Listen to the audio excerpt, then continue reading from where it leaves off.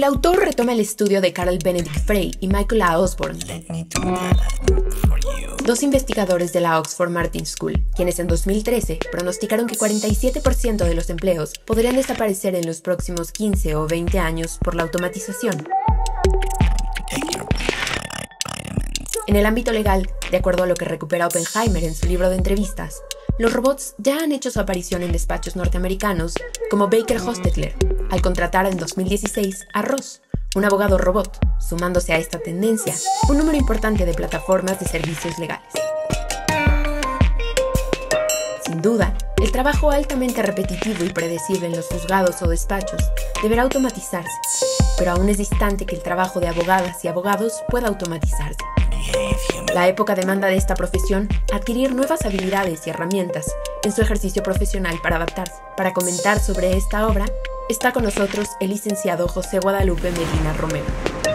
Bienvenidas, bienvenidos a una emisión más de Cultura al Derecho. Mi nombre es Diego Guerrero y el día de hoy vamos a hablar de un libro, Sálvese quien pueda, de Andrés Oppenheimer y para ello me acompaña un hombre muy comprometido con la universidad, un gran universitario desde un estudiante inquieto incluso en su momento y ahora un gran este, catedrático en nuestra Facultad de Derecho, el maestro José Medina Romero. Maestro, qué gusto tener el día de hoy aquí en Cultura del Derecho. Muchas gracias, Diego. Para mí es un honor estar aquí en mi facultad, este, este escenario magnífico. Eh, tu programa siempre ha marcado vanguardia en los temas, en los contenidos y ahora también en los escenarios, que es un regreso a nuestras instalaciones, al menos de manera parcial y con todos los cuidados. Muchas gracias, la verdad es que este es un enorme gusto tenerlo aquí. Yo lo conocí desde que era, estaba como estudiante guiándome en, algunas actividades que llevaba a cabo eh, dentro de la facultad, esta participación dentro de la misma. Eh, sálvese quien pueda, nos lleva a lo que viene para los abogados, muy actual con la situación que está viendo entre las tecnologías, la profesión del abogado. Platíquenos por qué eligió este libro para platicarlo en el programa. Muchas gracias, Diego. Eh, cuando me hiciste la, la honrosa invitación de acudir al programa y teniendo el antecedente de otros valiosísimos programas que, ha tenido esta serie de enorme éxito, eh, me motivó el, hecho de que hay que transmitirle, sobre todo a la audiencia, eh, en su mayoría estudiantes de nuestra facultad y de otras facultades eh, de la UNAM, el hecho de que nuestra profesión, la profesión del abogado, se encuentra en un momento oh, crítico en un momento de cambio, en un momento de reacondicionamiento. Tan es así que la vanguardia la tenemos como siempre, hay que decirlo con todas sus letras. Eh, nuestro actual director, el doctor Raúl Contreras, en la introducción que realizó para el posicionamiento del nuevo programa de estudios de la licenciatura, eh, marcó muy claramente dentro de lo que es eh, el contexto de este programa el hecho de formar un nuevo modelo de abogado un abogado que sea más atingente a las necesidades y requerimientos de la gente, de la comunidad, que sea un abogado más preparado hacia el tema de mediación, que tenga una eh, formación en función del proceso de enseñanza-aprendizaje constructivista, aprender a aprender, que es algo que diría yo, independientemente de lo novedoso en el marco de la formación de los nuevos juristas, nos eh, posiciona dentro de lo que es la vanguardia en relación con eh, una profesión tan importante, ya en el, en el, tema del ejercicio de la profesión, como es la atención ah, y asistencia jurídica a la ciudadanía una vez eh, obteniendo el título de licenciado en Derecho.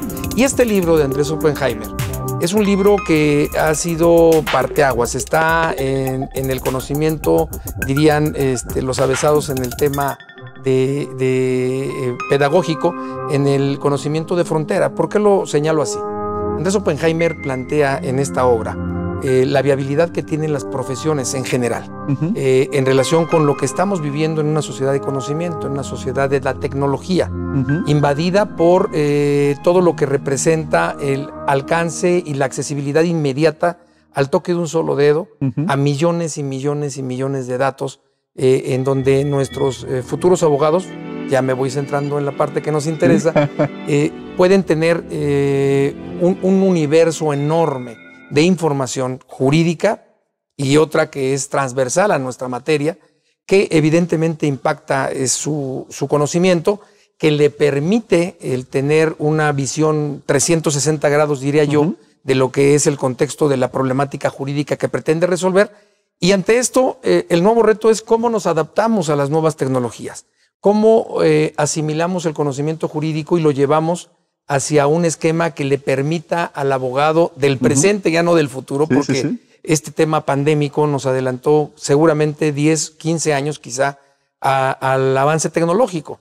¿Cuándo nos íbamos a imaginar que eh, esta posibilidad de comunicarnos a distancia hubiese sido necesaria, ya no optativa, sino necesaria en función de mantener el proceso de enseñanza-aprendizaje en nuestra facultad, en nuestra universidad, en el mundo? Claro, en esta parte, eh, de pronto, yo recuerdo hace algunos años, este, pasábamos al estacionamiento, había una persona que nos cobra.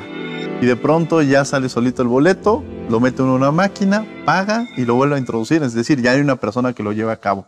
De pronto ahorita vamos a un centro comercial, a un súper, y había una cajera que nos está cobrando en algunos casos, y de pronto ya uno puede pasar solito sus productos, los mete a la bolsa y se los lleva. Ha, empezado a existir una extinción, de alguna manera, de ciertas actividades que se llevaban a cabo. Eh, vamos hacia allá los abogados, porque de pronto en esta obra que nos trae es una especie de uberización jurídica, en la cual puede haber un robot que nos los presentan, que va desarrollando, vaya realizando este, acciones que pone primero en alerta a los abogados, pero después dicen, esperen, solamente es para ayudar en un momento determinado. Pero esa ayuda de pronto se puede convertir en el que empieza a solucionar los problemas y empieza a contratar menos personas que se dediquen a la investigación, que es parte de la formación, y tengas un robot que en un par de segundos te investiga o te resuelva todas las jurisprudencias que existen en los temas. ¿Podríamos pensar en este escenario caótico? Fíjate que eh, tocaste el punto medular de, la esencia en función del capítulo que corresponde a los abogados en este libro, Sálvese quien pueda. Andrés Oppenheimer dice, eh, existe ya, sobre todo en, la comunidad europea, eh, en Estados Unidos por supuesto, la viabilidad y el acceso a robots que pueden sistematizar que pueden eh, establecer parámetros, inclusive de dar respuesta a planteamientos de problemas jurídicos. Y él, eh, en ese sentido, eh, empieza con un panorama sombrío para las futuras generaciones de abogados y señala que parte de lo que le significa al abogado como reto es el poderse adaptar a una nueva condición. En función del mercado pero también analiza la otra parte, que es ahí en donde eh, quiero, quiero abordar. La otra parte es el beneficio que nos conlleva a nosotros como abogados el poder tener, por ejemplo, la sistematización de información jurídica. El punto aquí está en que esta parte de, eh, digamos que benéfica de el acercarnos a la tecnología es lo que nosotros debemos de enfocar en relación con el libro. Eh, Oppenheimer decía, nos muestra la parte en donde en, estas comunidades ya se puede acceder a la solución de problemas jurídicos a través de consultas vía Internet, por ejemplo, eh, a través de eh, sistematización de información en segundos, en milisegundos. Las computadoras cuánticas ahora este, pueden eh, jalar información de todas las redes en todo el planeta y eso les permite tener respuestas prácticamente inmediatas. Sin embargo, el tema de la sistematización, el tema de la, la complementación de información para poder tener la visión de una problemática jurídica, al fin final recae en el abogado. Recae en nosotros como interpretadores de la ley, creadores de la ley y finalmente operadores de esta para poder resolver problemas. Luego entonces eh, el tema del sálvese quien pueda debe de estar orientado realmente como un área de oportunidad. Así lo veo y así se los eh, expreso a mis alumnos. Y esto, esta otra parte que anteriormente era, digamos que el plus que el abogado daba es la parte del el entendimiento, de la empatía, del mejor prepararnos para poder atender el, sentido real de, lo que es la solución de problemas. La mediación como un tema y finalmente el litigio como el extremo, digo yo, la última ratio del abogado sería el litigio, ¿no? Y, bajo, ese, bajo ese tenor creo que el libro lo que nos presenta es cómo están las cosas y hacia dónde va la, la profesión, cómo nos tenemos que preparar y cómo entender sobre todo, y esto lo quisiera abordar en el siguiente bloque, si tú me permites, este, querido Diego, es cómo nos interrelacionamos con otras profesiones.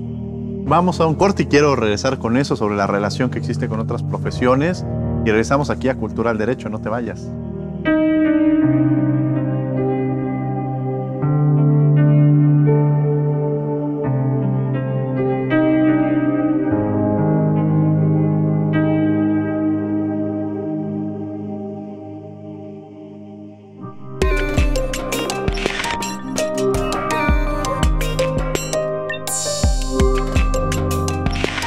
Estamos de regreso en Cultura del Derecho platicando de este libro Sálvese quien pueda de Andrés Oppenheimer con mi querido maestro eh, José Medina. Querido maestro, a ver, en esta parte sobre la relación que hay con otras carreras, usted entra en una parte muy interesante sobre esta parte del, escenario de las, de las emociones.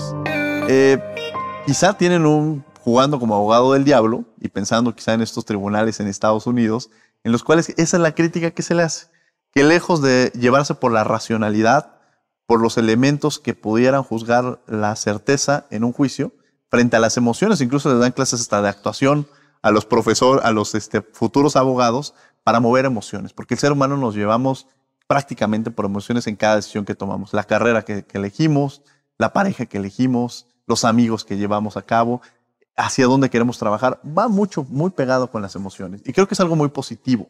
Quizá quiero entrar a esa parte, la importancia de que el abogado se sensibilice frente a la persona que viene trayéndole un problema. El, robot no va a sentir nada si llega una persona y le dice, oye, ¿sabes qué? Tuve un conflicto familiar. Y ni siquiera creo que el robot lo lleve a la mediación.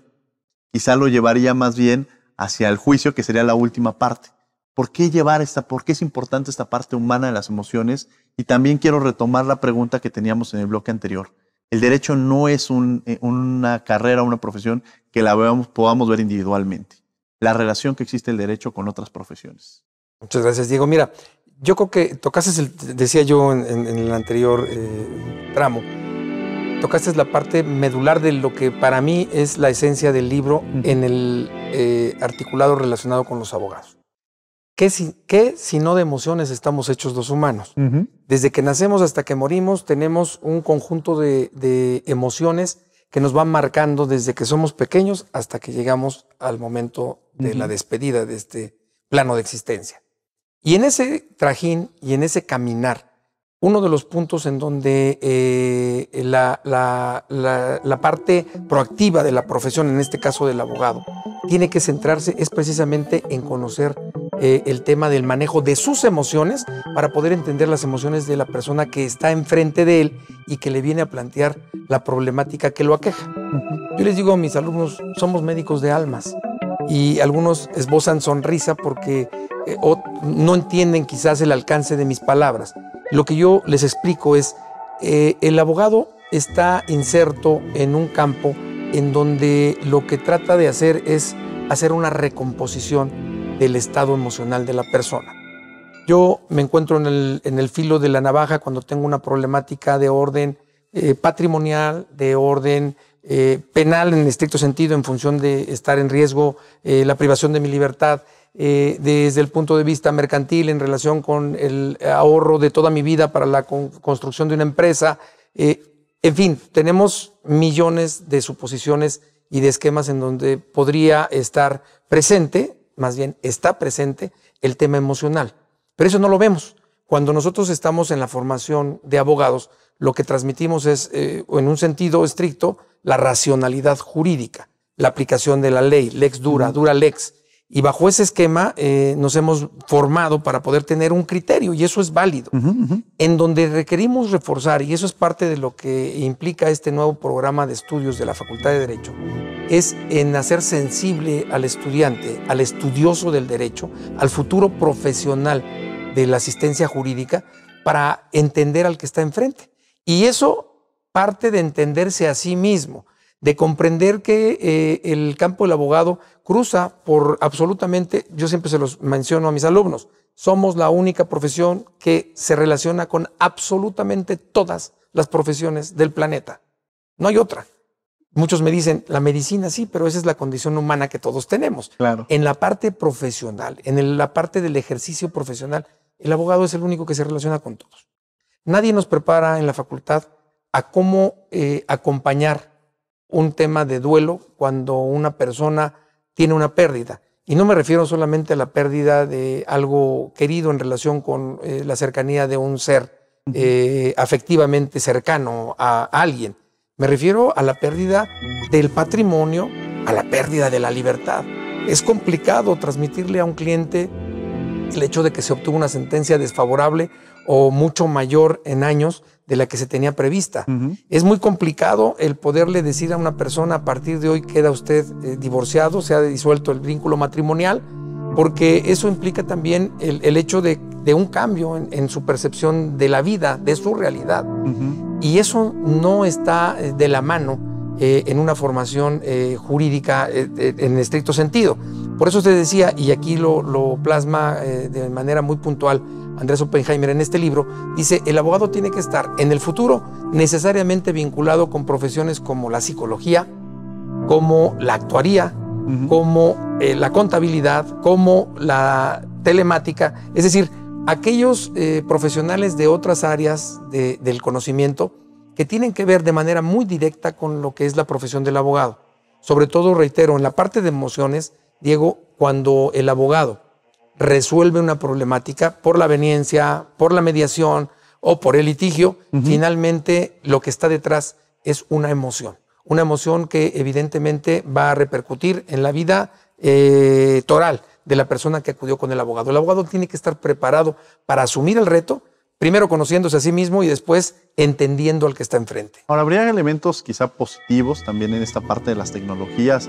La automatización, ¿no? De pronto saber el procedimiento que va llevando un juicio, en qué etapa se encuentra, porque puede ser que la abogado todavía sigue, todavía sigue y, no sabes que, que, esta prontitud de saber este tipo de situaciones, ¿no? Esta, esta exactitud, romper con factores de corrupción quizá también nos podría este, ayudar. En fin, hay muchas cosas quizá positivas que podríamos encontrar de estas nuevas realidades, porque eh, quizá quiero entrar a eso, las partes positivas que podríamos encontrar, pero también los riesgos, esta, esta otra cara de la moneda, tener claras estas dos caras de la moneda.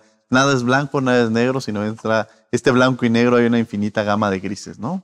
Es correcto, Diego. Fíjate, por ejemplo, la parte en donde tú hablabas ahorita de corrupción.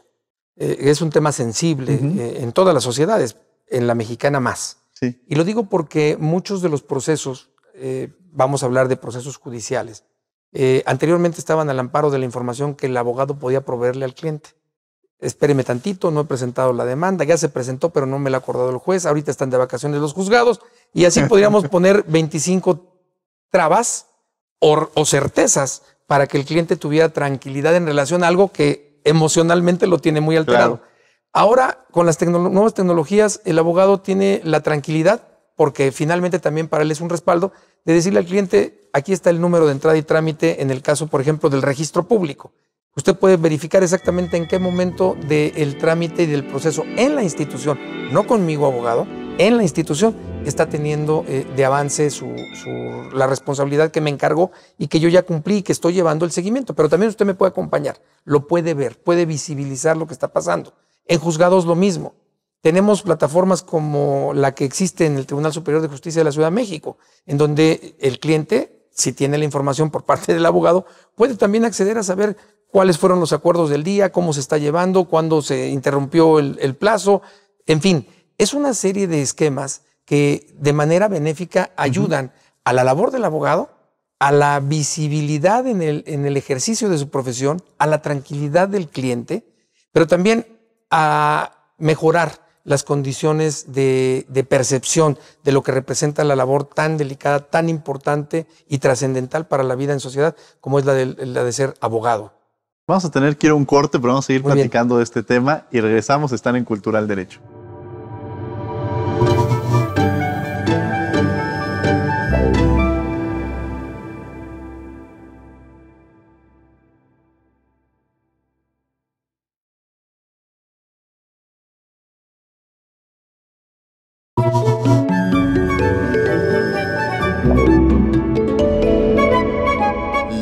De la Lebrige. Y Ernesta, la neta. Si hay un país en donde aparecerá por primera vez un robot haciendo tareas altamente complejas de un ser humano, es en Japón. Poco tiene de hacer lo que ocurrió en la localidad japonesa de Tama, en Tokio. Más bien parece algo sacado de una novela de Ray Bradbury. Esto no es ficción. Hace apenas dos años, un robot llamado Michihito Matsuda irrumpió en unos comicios electorales para postularse como alcalde en la pequeña ciudad nipona de Tama, con apenas 150.000 habitantes. Detrás de esta inteligencia artificial se encuentra Tetsuzo Matsuda, vicepresidente del proveedor de servicios móviles SoftBank, y Norio Murakami, un ex empleado de Gobu en Japón. Matsuda está convencido de que las nuevas tecnologías pueden resolver muchos de los problemas de las grandes ciudades, la gestión de residuos, la optimización del transporte o la accesibilidad para discapacitados o personas mayores. También aseguraba que sería más sencilla la resolución de conflictos al aplicarse exclusivamente criterios matemáticos desprovistos de las complicaciones que da la conciencia o los sentimientos. ¿Pero qué opinas? ¿Votarías por un robot para gobernante? La voz del alebrije. Viernes está la neta. Estamos de regreso en Cultura del Derecho platicando sobre este libro Sálvese quien pueda de Andrés Oppenheimer con un querido maestro de la Facultad de Derecho, el maestro José Medina Romero. Eh, ya hablábamos de estos pros y contras que quizá podríamos aterrizar. Quizá ahorita en esta inmediatez que tenemos puedo buscar yo un contrato de compraventa. Me aparecen en internet cuatro o cinco opciones o miles de opciones en las cuales yo puedo tomar este contrato. ¿Qué tanta, qué tanta certeza le puede dar al ciudadano esta opción o esta alternativa de las cosas que podemos encontrar en Internet, que pueden ser muchas, pero yo no me imagino a alguien que decida voy a, hacer, voy a sacar un diente viendo cómo se va a llevar a cabo a través de este método, este video de, YouTube quizá, ¿no? La importancia sí de encontrar esta inmediatez de las cosas que tenemos en Internet, pero también la importancia de estar asesorados eh, a través de un abogado, ¿no? Sin duda, Diego. Yo creo que eh, ahorita acabas de poner en la mesa un, punto eh, muy común eh, en, las épocas recientes. Cualquier persona puede acceder, como decías, a un tutorial para poder realizar la actividad física, intelectual, de belleza, de entretenimiento que quiera. Y hay miles y millones de opciones. ¿Qué pasa con, el otro tema? ¿A dónde va la parte de ejercicio de la profesión? Certera y segura para quien acude ante un abogado. El hecho de que sepa que, aunque puede acceder a un formato para hacer el llenado de una solicitud, en este caso de alguna gestión gubernamental o simple y llanamente de la presentación de una demanda, eh, debe de tener necesariamente el aval de una persona que le garantice primero la corresponsabilidad en relación con el llenado y con el contenido de ese llenado. Segundo, con que esa actualización de información es la veraz, es la oportuna. ¿Cuántas veces no hemos visto, digo, me ha pasado en el ejercicio profesional, que de pronto llegan con el formato de la demanda y resulta de que la fundamentación está basada en el Código Civil, pero de Chile? Porque se le ocurrió que era el más adecuado a su leal saber y entender llenarlo y no el buscar el adecuado para la legislación mexicana, por ejemplo. Entonces, el abogado siempre tendrá que estar presente en relación con lo que es la asesoría. Nadie en su sano juicio, creo yo, estaría dispuesto, como bien lo señalabas, a poner en las manos de, un eh, formato digital el hecho de estar, eh, eh, vamos, valorando un esquema de salud, un esquema delicado, ¿no? La muela, el dolor de cabeza, algo más delicado, más grave en relación con la salud de la persona. Por supuesto, tampoco en función de estar de por medio valores tan esenciales como es tu vida, tu libertad, tu patrimonio, tu estabilidad emocional en cualquiera de los esquemas que uno pueda tener, no la vas a poner en manos de una máquina. Yo creo que aquí el abogado y nuestra profesión, hablando concretamente de, los, de las conclusiones a las que llega Andrés Oppenheimer, es, es un área de oportunidad la que tenemos enfrente los abogados. ¿Algún tema con el que quiera cerrar? ¿Algún mensaje que quiera mandarles? A pues decirles al auditorio que eh, este libro de Andrés Oppenheimer lo que nos eh, llama para reflexión es estemos conscientes de que la sociedad del conocimiento que estamos viviendo en este siglo XXI está llena de retos, pero las oportunidades, esas son las que tenemos que asumir y concretar quienes estamos siendo preparados para acceder al conocimiento real, oportuno, veraz y dirigido sobre todo a los seres humanos. Muchas gracias por haber estado con nosotros. Al contrario, Diego, muchas gracias. Maestro José Medina. Y gracias a ustedes y los invitamos a que nos sigan en una siguiente emisión de Cultural Derecho.